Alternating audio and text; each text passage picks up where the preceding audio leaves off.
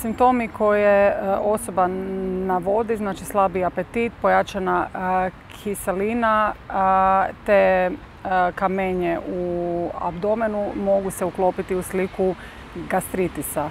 Ono što bi bilo dobro napraviti je status Helicobacter pylori i infekcije, no obzirom da osoba uzima i inhibitor protonske pumpe, to nije moguće.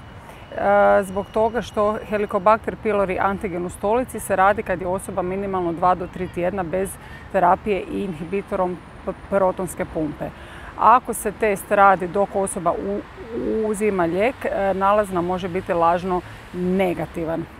Pitanje je kad je učinjena zadnja gastroskopija.